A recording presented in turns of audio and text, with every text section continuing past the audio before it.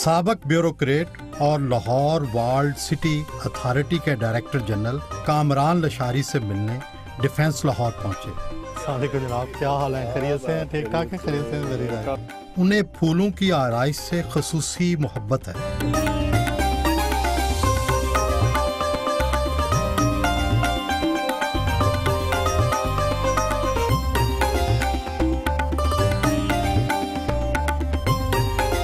लाहौर के इलाका मजंग में लाशारी बलोच ख़ानदान में पैदा हुए। लाहौरिया, मजंगिया या फिर बलोच कौन सी छाप शख्सियत पर ज़्यादा गहरी है?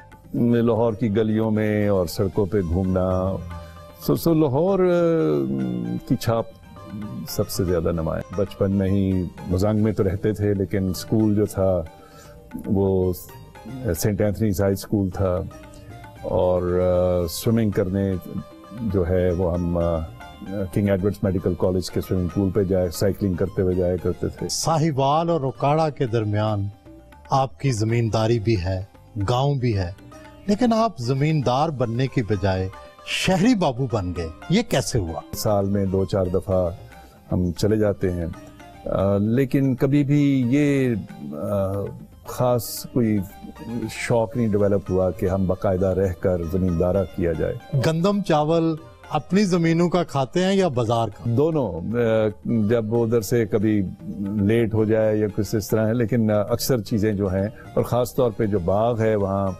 वो तीस एकड़ का बाग है जो हमारे बाप ने वालद ने बड़े शौक से बनाया जिसमें आम और तीनों वगैरह नमाया है। स्पोर्ट्समैन रहे।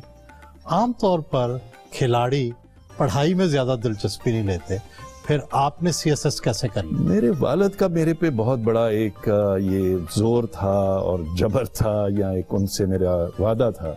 आपके वालद साहब तो खुद वकील थे। वकील थे शायर थे जमींदार थे तो उनको अफसरी का एक बहुत ज़्यादा था। लेकिन मैंने इस बात का अहद किया हुआ था कि मैंने ये इम्तिहान सी एस एस एक अजीब चीज़ लगती थी कि वो कौन से लोग हैं जो मुल्क में पहले दस बारह पोजीशन में आते हैं और फिर वो सिविल सर्विस में जाते हैं।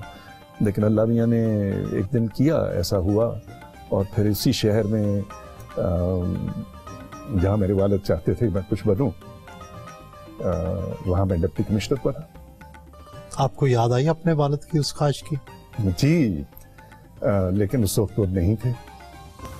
मगर ये जो उसका कर्म है कि, ये ये हमारा ईमान तो है ना कि वो देखते हैं और समझते हैं तो सो मैं उनकी कब्र पे गया और अब भी जाता हूँ और मैं समझता हूँ जो कुछ हम हैं हमारे माशरे में, ये बहुत बड़ी बात है कि हम अपने माँ बाप से बहुत कुछ सीखते हैं। पाकिस्तानी ब्यूरोक्रेट तो फाइलों में गुम रहते हैं, लेकिन आप जहाँ गए दास्तां छोड़ आए। मुख्तलिफ़ क्यों है आप? मैंने अपने आप को सिर्फ़ एक ब्यूरोक्रेट के टिपिकल रेगुलेटेड फ्रेम में अपने आप को नहीं देखा, बल्कि कई दफ़ा चाहता भी था इसमें रहूँ क्योंकि इर्द गिर्द कई दफ़ा इस पर तनकीद भी बहुत होती थी, ये इसका काम है भी है या नहीं है। और जाके मैं पार्क्स एंड हॉर्टिकल्चर में था तो सजा क्या रहा हूँ गवाल मंडी फ़ूड स्ट्रीट ना वो पार्क है ना वो हॉर्टिकल्चर है। तो एक दफ़ा शिकायत हुई गवर्नर साहब के पास कि हाँ, खालिद मकबूल साहब थे। मैंने कहा सर अक्सर शिकायत ये होती है महकमों की कि ये इनका काम है ये करते नहीं है। तो मुझे खुशी है कि मेरे साथ ये मुझे आ रही है मुश्किल कि ये इनका काम नहीं है ये क्यों करते हैं? एक क्रिएटिव होने का शौक कह लीजिए। नए नए आइडियाज़ क्या बैरून मुल्क सफ़र से लाते हैं वहाँ की चीज़ों की नकल करते हैं या फिर अपने जहन में इजादात करते रहते मेरे ख्याल मुशाहिदा बाहर देखने में इसको बिल्कुल लेकिन नकल के लिए भी अकल चाहिए। फ़ूड स्ट्रीट का आइडिया कहाँ से आया? में मेरा ख्याल है जर्मनी था या कैसे बैठा हुआ एक दफ़ा किसी जो प्रोडेस्टनाइज एरियाज़ होते हैं। तो मैं बैठा आइसक्रीम खाते हुए मुझे काफ़ी टाइम गुजर गया और मैं बड़ा खुश बैठा हुआ था। और मैंने अपने आप से सवाल किया अभी तुम तो इतनी बेचैन रूह हो तुम एक इतना टाइम यहाँ पे कैसे? मुझे ख्याल और एहसास ये हुआ कि चूँकि यहाँ गाड़ियाँ नहीं है पेडेस्ट्रनाइज एरियाज़ होने चाहिए अर्बन स्पेसेस में जहाँ लोग आसानी से घूमें शॉपिंग करें खाएँ। और सबसे बड़ी खूबसूरत बात जो थी ना जी उसमें गरीब और अमीर फैशनेबल और एक ट्रेडिशनल हर किस्म की शख्सियात वहाँ पर फ्रीली बैठकर घूमती फिरती खाती और मज़ा करती थी। क्या दुख होता है कि गवाल मंडी की फ़ूड स्ट्रीट जी मेरा ख्याल है हम पता नहीं क्यों कोई अच्छी चीज़ कर भी लेते हैं। तो वो सस्टेन नहीं होती इस मुल्क में।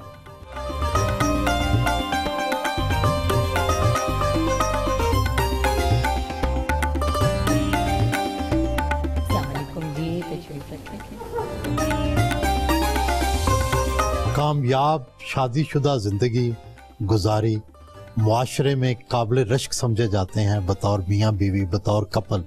क्या राज है कामयाबी? कोई भी दो शख्स जो हैं बहुत देर अगर एक साथ रह रहे हैं तो ज़रूरी है कि कुछ उसकी बातें अपनाएँ कुछ उसका मजाज को समझें और कुछ अपनी बातों से एडजस्ट करें। आपने कौन सी चीज़ एडजस्ट की और उन्होंने कौन सी चीज़ एडजस्ट की? मैंने सफ़ाई पसंद होना बहुत एडजस्ट किया। लुबना का जीतने का मेरे दिल को मेरी वालदा के खिदमत के ज़रिए जो जो एक मुकाम हासिल हुआ। She became friends with my mother पहले दिन से। ये उनकी सबसे फेवरेट बहू रही हैं। तो सास बहू का तलक नहीं बनाया आपने? एक तो my mother passed away very young लेकिन मैंने इनकी जो वालदा से सीखा वो शायद मैं इतना कुछ अपनी वालदा से नहीं सीख पाई।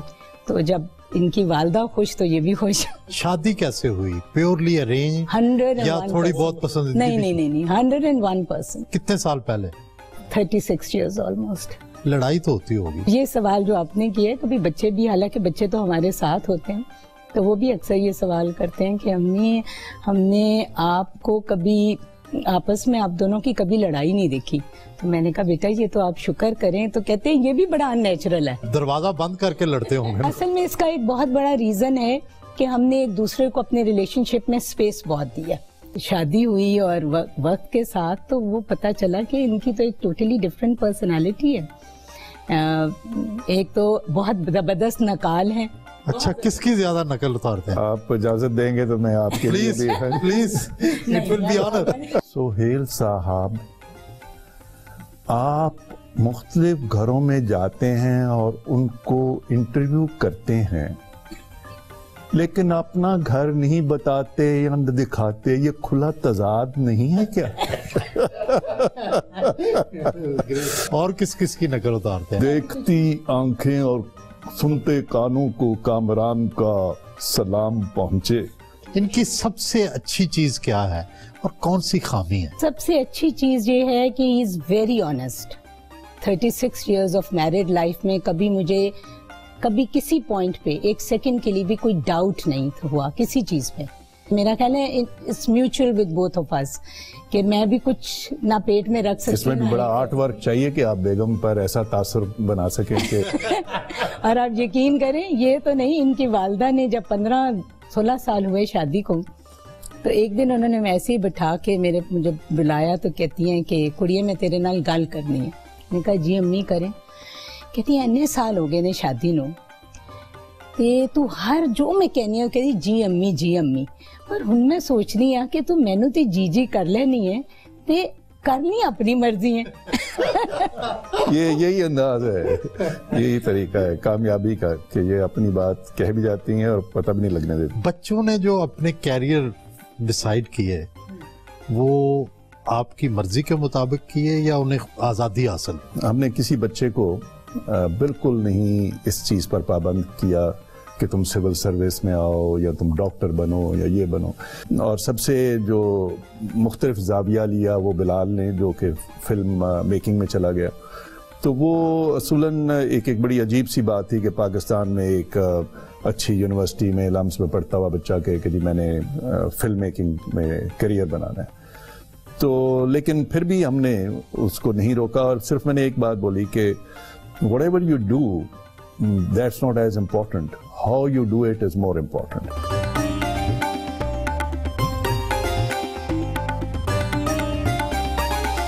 मेरा और मेरे भाइयों का अपने वालिद साहब के साथ एक बहुत एक क्लोज रिलेशनशिप हमेशा से रहा है और हमेशा से हमारे वो एक रोल मॉडल रहे हैं। इस वक्त मैं अपनी दूसरी फ़िल्म पे काम कर रहा हूँ, जिसका नाम मौला जट है, और उसकी अभी शूट चल रही है। मुझे लगता है कि अभी इस अरसे में बहुत ज़्यादा एक एक चेंज आया है हमारी फ़िल्म इंडस्ट्री में।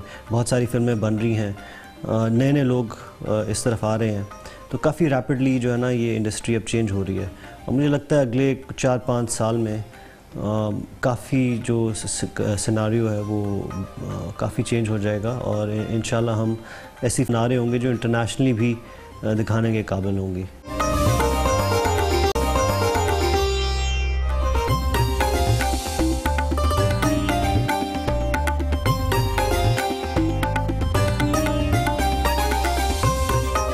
हिस्से लतीफ़ के हामिल हैं एस्थेटिक सेंस पाई जाती है। कुदरती हुसन तो हर तरफ़ देखते हैं। इंसानी हुसन में क्या चीज़ अच्छी लगती है? फ़िज़िकल फिटनेस चाहे वो खातून में हो चाहे मर्द में हो आई थिंक असल खूबसूरती वो है। तो क्या लंबे बाल और खूबसूरत चेहरे पसंद नहीं आते? नहीं वो भी ज़ाहिर है चेहरा और आँख बाल और लब रुखसार सारी चीज़ें ही बड़ी खूबसूरत है। लेकिन अगर आप यूँ ही समझिए ये सारी चीज़ें खूबसूरत भी हैं लेकिन जिस्म जो है वो आउट ऑफ़ शेप है।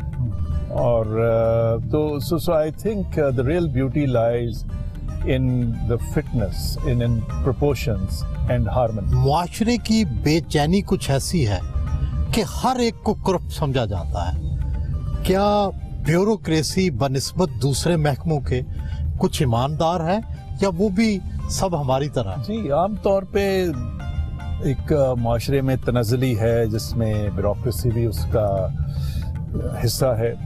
तो मेरे ख्याल से इनको नमूना बनना बहुत ज़रूरी है और I I do expect much better standards of civil service from from the senior bureaucrats at least गो अदालती फैसलों पर तबसरा करना मुनासिब नहीं, मगर फिर भी अदालत उज़मा ने कई मामलात में आपको जिम्मेदार करार दिया। जैसे इस्लामाबाद के अंदर बाज तरक्याती मनसूबे थे, एक रेस्टोरेंट का मामला था। आप इसको किस तरह से देखते हैं? देखिए, वो इफ्तार चौधरी साहब का ज़माना था, जिसमें वो हर चीज़ को आटे, चीनी से लेके एक रेस्टोरेंट को उसका निशाना बनाते थे अपनी एक पॉपुलैरिटी की खातिर। ये सारा मुल्क अंधेरे में डूब गया जब एनर्जी क्राइसिस आई। आज तक कोई ऐसा जिम्मेदार हुआ है, कोई इंक्वायरी हुई है? कि वो कौन लोग थे जिन्होंने 15-20 साल में कोई डिसीज़न नहीं लिया और यहाँ तक पहुँचाया मुल्क को? तो आपके ख्याल में फिर करप्शन को रोकने का क्या तरीका है और एहतसाब का क्या तरीका है? लेकिन अकाउंटेबिलिटी जो है परफॉर्मेंस बेस्ड होनी चाहिए। यानी जैसे प्राइवेट सेक्टर में भी होती है कि आपने ये परफॉर्मेंस इंडिकेटर्स हैं टारगेट्स हैं गोल्स हैं इनको अचीव किया या नहीं किया। यहाँ पर there are no goals there are no targets there is no एक जगह पर आप तीन साल रहें चार साल रहें कुछ ना करें तो बिल्कुल आप सेफ़ रहेंगे आपकी प्रमोशन भी होगी आपको आ, हर किस्म का और आप पर कभी कोई अफसाना भी नहीं बनेगा। जब आतिश जवान था आप स्पोर्ट्समैन भी थे मौसीकी आर्ट से भी दिलचस्पी थी कोई लव अफेयर वगैरह चलाया था मज़ाक में? वेल जी मे बी वेरी अर्ली एक उसको आप बेबी लव कह लें लेकिन when I was a very young person 16 17 18 years तो I I definitely fell in love और uh, मगर ये उस जमाने की बात है। और फिर uh, वो शादी हो नहीं सकी। Uh, उनका ख्याल था कि पता नहीं इसका फ्यूचर क्या है। अभी मैं पढ़ रहा था और दैट्स लाइफ लॉरेंस रोड पर वाकया लाहौर वर्ल्ड सिटी अथॉरिटी के ऑफ़िस पहुँचे। स्टाफ ऑफिसर ने इस्तकबाल किया।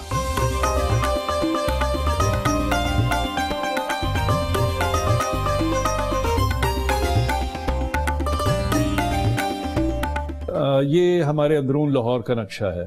अभी तक ये तकरीबन वन टेंथ मुश्किल एरिया होगा जो हमने कवर किया है। तो अब तक ये वर्ल्ड सिटी प्रोजेक्ट जो है जो पुराने शहर को आप एक तरह से महफूज कर रहे हैं उसको यादगार बना रहे हैं इस पर कितने पैसे खर्च हुए उसकी बहाली पर अब तक कोई पचास करोड़ रुपया खर्च हो चुका होगा। टोटल अंदरून लाहौर में बाईस हज़ार प्रॉपर्टीज़ हैं। और हमने तकरीबन कोई 2000 पे इस वक्त तक काम किया है और बाकी पर कर।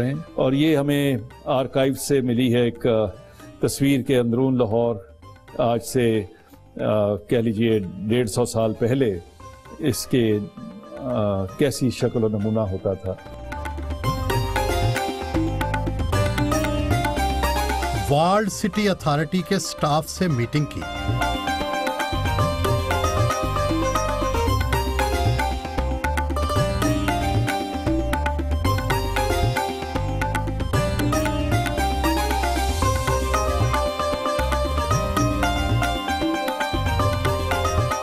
शाही कला पहुँचे।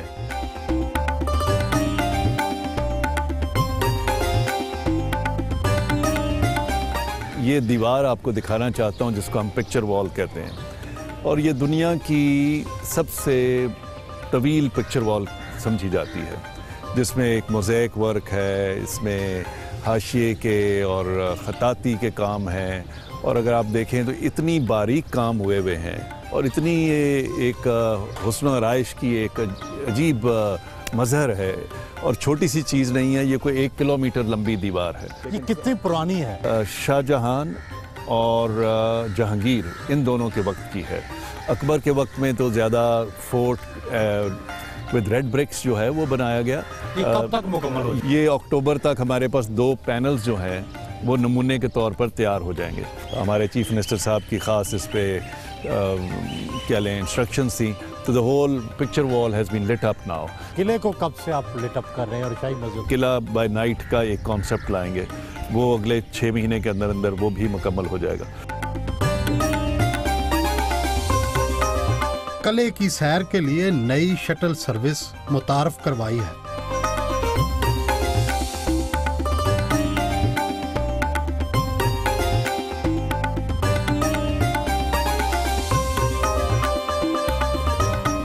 आजकल मुगलिया बवर्ची खाने की बहाली का काम जारी है।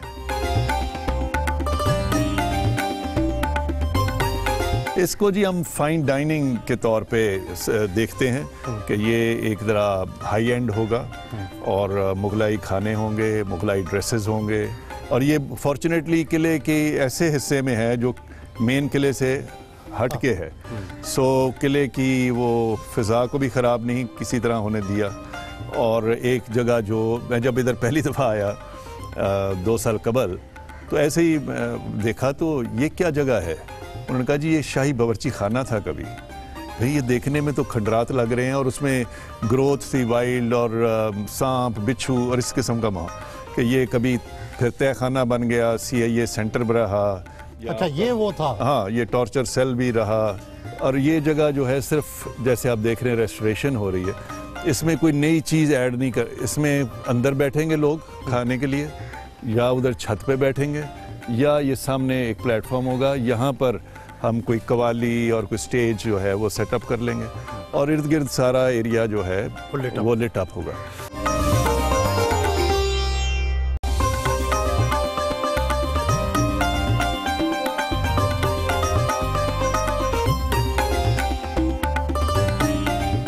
घर वापस आए।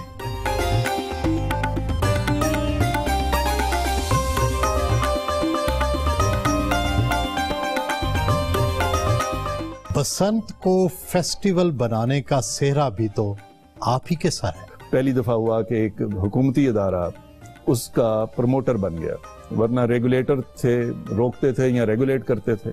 सो so, लाहौर में आज दो एम्बेसडर्स आए तो हम कहते हैं जी इनकी आओ भगत करें यकीन करें ये एम्बेसडर्स कार्ड मांगने को तरसते थे। लेकिन कैसी अजब बात है दुख वाली बात है कि हम इसको इतनी बड़ी कंट्रोवर्सी बना दिया है। आपने कोई मंसूबा पेश किया है कि ये सेफ़ तरीके से पतंगबाजी हो सके और उसमें जानी नुकसान ना हो? इस दफ़ा पहली दफ़ा हुकूमत ने कमेटी बनाई थी और हमने सेफ़ बसंत का बनाया उसका पूरा मंसूबा। लेकिन अभी हमें वो मौका नहीं मिला कि हम वो पेश कर सकें। बतौर ब्यूरोक्रेट अपने तवील और कामयाब कैरियर में क्या क्या तजर्बात हासिल किए सिंध में रहे सीडीए के चेयरमैन रहे लाहौर के डिप्टी कमिश्नर रहे कौन सी ऐसी चीज़ है जो आपको याद आती है? जहाँ तक कल्चरली मेरे जेन पे छाप है वो सबसे ज़्यादा सिंध की है। पोस्टिंग वाइज मैं समझता हूँ जो मेरी छाप रही है जो मुझे याद आती है और मैं अपने साथ ही लेकर उसको शायद एक दिन जाऊँगा। वो वो है दो दो चीज़ें वो डेप्टी कमिश्नरी वगैरह बड़ी, अब मैं देखता हूँ तो बड़ी मुझे छोटी चीज़ें लगती वो है लाहौर में बतौर parks and horticulture director general. दूसरा सीडीए में इस्लामाबाद को एक नए तर्ज पे देखने का वहाँ भी पाँच साल में रहा। और Seventh Avenue Ninth Avenue Monal restaurant Saidpur village और रावल लेक और एफ़ नाइन मतलब मुख्तलिफ़ चीज़। अब भी जो काम कर रहा हूँ मुझे उससे भी बहुत मोहब्बत और एक उनस है। रिटायरमेंट के बाद भी आपको वर्ल्ड सिटी का इंचार्ज बनाया गया। ये एक महकमा जो बतौर ये समझा जाता है कि जी एक सारे कदीमा का महकमा है। हमारे मुल्क में इन चीज़ों की कोई ज़्यादा अहमियत नहीं होती। क्योंकि मुझे अपने बुज़ुर्गों के पुराने हुक्का हो, किताब हो, कोई चीज़ हो, उस, उसको संभालने का बहुत शुरू से शौक़ रहा है। तो अब अगर मैं अपने अजदाद के सड़कें जो हैं और मकान जो हैं, जो अंदरून लाहौर में जो हम सब की मुश्तरका एक एक विरसा है, उसको संभालने का मौका मिला है तो मैं अपने आप को बहुत खुशबक समझता हूँ।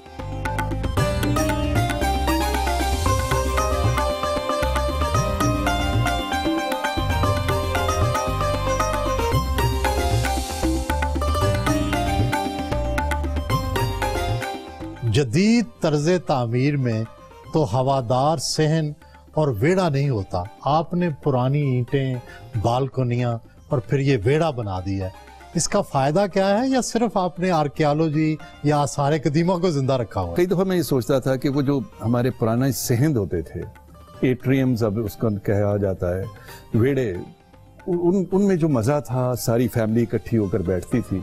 सो so, आप इंडोर भी हैं और फिर आपको आउटडोर की फ़ज़ा भी मिल रही है। और फिर मैंने इसको उसी अंदाज से उस रवायत से ही जुड़ा हुआ बनाया। ये हमारे घर का मैं समझता हूँ सबसे ज़्यादा मकबूल और सबसे ज़्यादा यूटिलाइज जगह है जहाँ ज़्यादा से ज़्यादा खुशी से हम इस्तेमाल करते हैं।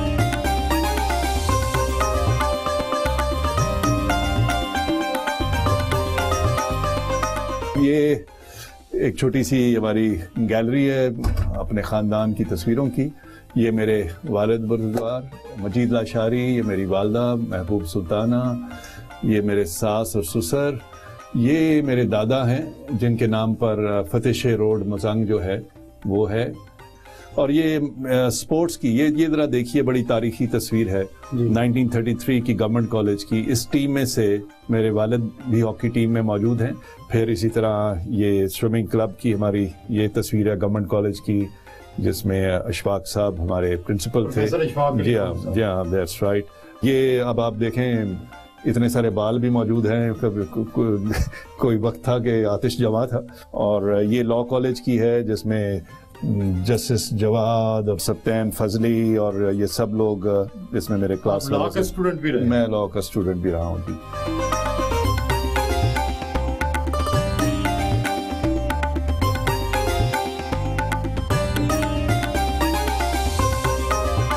किताबों का बहुत खूबसूरत मजमुआ इकट्ठा कर रखा है। इतनी शानदार लाइब्रेरी तो आप बहुत से घरों में नहीं होती। आपको तारीख से शगफ है कौन सा मौजू सबसे अच्छा लगा? तारीख से आ, मुस्लिम आ, जो हमारी इस्लामिक हिस्ट्री है उससे ख़ास तौर पे मैं ये जानने की बड़ी मुझे एक एक शौक़ है खलिश है कि कहाँ हम हम अपनी मंजिल से हट गए। क्या वजह है कि हम हम बिखर गए तो क्या आप उम्मत मुसलमान की मुश्किल का हल ढूँढने में कामयाब हुए? अपनी ही दुनिया में मुसलमान जो कुतें थी वो उस जोम में रहीं और उन्होंने बाहर क्या हो रहा था उस उसको देखना गवारा नहीं किया और उन्होंने समझा ये तो वही लोग हैं जो हमारे महकूम हैं। लेकिन वेस्ट में एक, एक इतनी तब्दीली इतनी चेंजेस आ रही थी। ये ऐसे ही है जैसे आज कंप्यूटर राइज हुआ है तो हम 200 साल लगा दें कि कंप्यूटर इस्लामी है हलाल है या हराम है। हम उन चीज़ों में जब पढ़ गए और अलूम से दूर हो गए। दुनिया ने एक नया ही मेथड और, टेक्नोलॉजी सीख ली। So I think that is where we went wrong ज़िंदगी में वो ऐसा कौन सा मुसन्फ है जिसका आपकी ज़िंदगी पर बहुत गहरा असर पड़ा? अंग्रेज़ी में खलील जबरान की छाप मेरे पे है। शेर व शायरी से दिलचस्पी है। आपके वालद तो शायरी की किताबें भी लिख चुके हैं। आप ये बताएँ कि आपको कौन सा शायर सबसे अच्छा लगता है? फैज़ हैं साहिर लुधियानवी हैं, और वो जो बहुत साहिर लुधियानवी के मशहूर हुए वो नज़म जो फ़िल्म सिलसिला में है कि कभी कभी मेरे दिल में ख्याल आता है, ज़िंदगी तेरी जुल्फों की नरम छाँव में गुजरने पाती तो शादाब हो भी सकती थी। ये रंजो गम की स्याही जो मेरे दिल पे छाई है तेरी नज़र की शुआओं में खो भी सकती थी। ग्रह मेरी हम नफस यूँ ही कभी कभी मेरे दिल में ख्याल आता है आजकल खताती भी सीख रहे हैं। खूबसूरती जो है ना या दिलकशी वो सारी जावियों में है। ज़ेर बम में है उतराव चढ़ाव में है।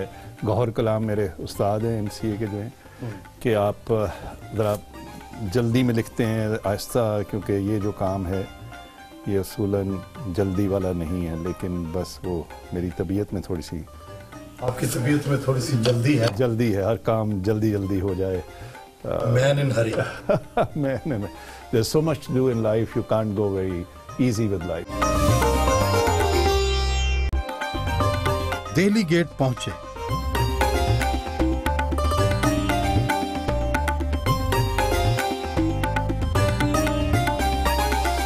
तारीखी शाही हिमाम को बिल्कुल पुरानी तर्ज में नए सिरे से बहाल किया गया है।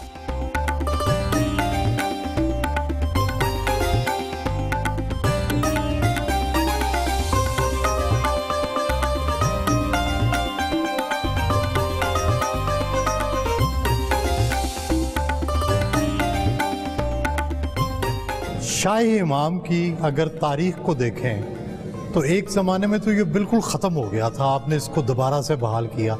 लेकिन अगर माजी को याद किया जाए तो किस ज़माने में ये आबाद था और यहाँ क्या होता? 1658 शाहजहां के ज़माने में गवर्नर जो लाहौर का बना, वो था वज़ीर ख़ान। झंग का रहने वाला था। उसने इसको तामीर किया। सो, यहाँ पर जो है, लोग आकर पहले एक ठंडे पानी का इंतज़ाम था। दूसरी जानब जो है गर्म पानी का था। नेचुरल स्टीम्स कैसे और भट्टियाँ जितनी थी वो पानी को गर्म करती थी दूर तक पहुंचाती थी। इस हमाम को रिस्टोर करने में बहाल करने में कितने पैसे लग गए? यहाँ कुछ छः सात करोड़ रुपए जो है अंदरूनी हिस्से पे लगे हैं। यूनेस्को ने इसको दुनिया के बेहतरीन प्रोजेक्ट्स में से एक करार दिया है। और फिर विलियम डालपल जो एक बड़ा राइटर है राइटर है वो पिछले दिनों यहाँ पर आया हुआ था तो उसने अपने ट्विटर किया है कि मैंने ऐसा project this is a by far the best restoration project of the South Asia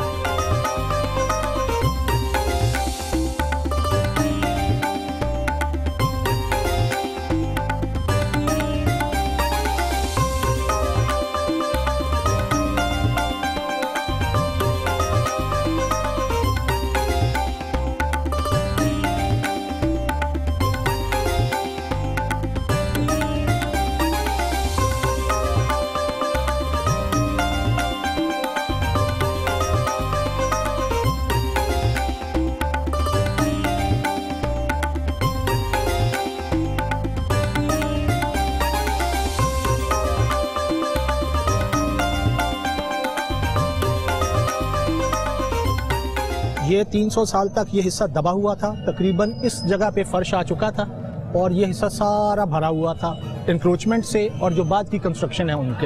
ये जितने हुजरे हैं ये नज़र नहीं आते थे सिर्फ़ इसका आधा हिस्सा आता था। बाकी सब भराई कितना अरसा लगा जी इसकी बहाली में और कितने पैसे लगे? ये जी कोई दो साल लगे हैं और मेरा ख्याल है कोई 10-11 करोड़ रुपए में ये तैयार हुआ है। ये मस्जिद कितनी पुरानी है? 1634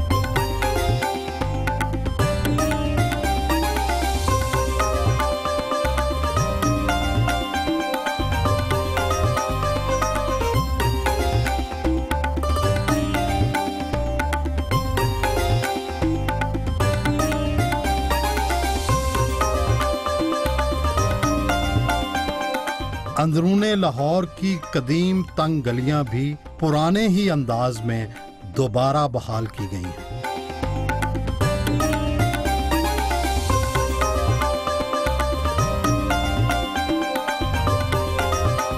कितने सालों से यहाँ रह रहे हैं?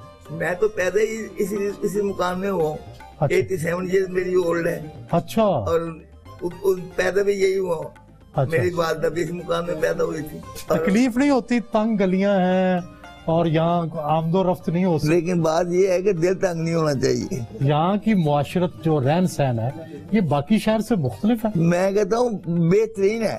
तो क्या करते रहे आप? ज़िंदगी में क्या कोई काम करते? छह सात आठ दस साल लगाए। लोहे की लोहे के कारोबार पर। फिर वहाँ से निकल के मेरी गुड़िया की दुकान पे आ गया। ये नवाज़ शरीफ भी वहाँ गुड़िया लेने के लिए आया करता था अपने बेटे को लेकर। और इनसे भी मुलाकात होती थी वहाँ पर।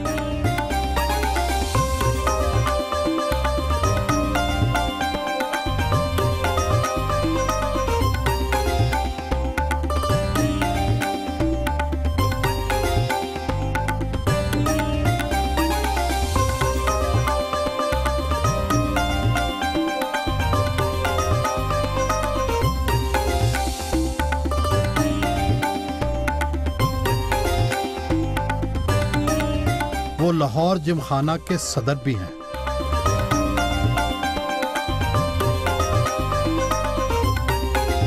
जिमखाना क्लब में अपने दफ्तर पहुँचे। हाल ही में जिमखाना क्लब के चेयरमैन मुंतखब हुए हैं। इस क्लब के कुल कितने मेंबर हैं और सालाना बजट कितना है? लाहौर जिमखाना के जी मेंबर्स जो हैं वो दस हज़ार से ज़्यादा हैं कोई दस हज़ार पाँच सौ हैं। इसका सालाना बजट जो है वो तकरीबन साढ़े चार करोड़ रुपया है। चेयरमैन मुंतखब होने के बाद ज़ाहिर है आपके 12 मेंबर में से 10 सेलेक्ट हुए हैं। आप क्या क्या तब्दीलियाँ लाएँगे?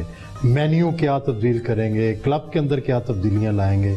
कुछ सोचा तो हो। आते ही हमने पहले तो इस सफ़ाई सुथराई से काम शुरू किया है कि यानी कि जितनी टूट फूट, जितना स्टोरेज बना हुआ था आधा जिमखाना, उसमें से चीज़ों को साफ़ रखना और स्क्रबिंग क्लीनिंग और ये एक कल्चर डेवलप किया है। जो ज़्यादा बड़ा चैलेंज है, वो है यहाँ की सर्विस को ठीक करना, यहाँ के क्वालिटी ऑफ़ फ़ूड को हॉस्टल लाइफ को हमने कुछ किया है कुछ और करें। और जो इसकी स्ट्रक्चरल चेंजेस हैं which means remodelling of the Lahore Gymkhana को उस लेवल पे लेकर जाएँ जो कि इसका एक श- अम, हमेशा खासा रहा है। लाहौर जिमखाना पूरे सब कॉन्टिनेंट में इवन इन इंडिया से भी जो दिल्ली के जिमखाना से इसकी हैसियत हमेशा ज़्यादा रही है तो हमने उसको बरकरार रखना है।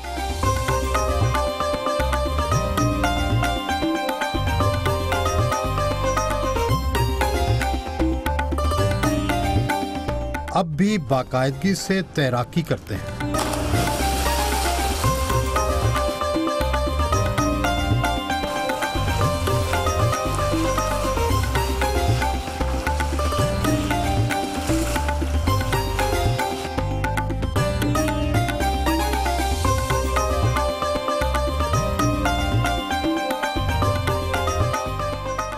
वर्ल्ड सिटी प्रोजेक्ट और लाहौर फोर्ट का इंतज़ाम इंसराम तो आपके पास है।